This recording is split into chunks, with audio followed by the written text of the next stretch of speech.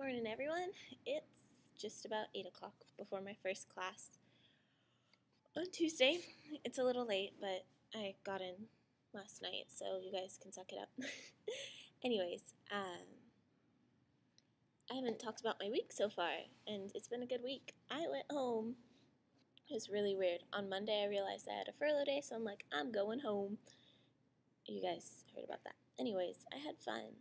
Got to see my parents and Katie and Darlene and Michelle. It was great seeing them. It's weird though, because like being home made me miss everybody else so much. Oh, my hair is just like not working for me today. Made me miss everybody else just so much more. So I'm so excited for Thanksgiving. Sorry, I'm just readjusting. Yeah.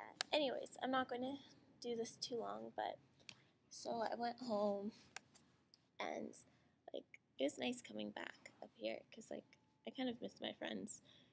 It's strange, but I've just spent so much time with them that it's just like okay, all right, it's good to be back, even though it's hard to miss leave you guys. Anyways, um, so we got back and um, we were hanging out, and I hung up some things in my room, unpacked and stuff, and then after we um, we went to the DC, and all of a sudden we decided let's go to Paranormal Activity at 9:49, 9:45 at night.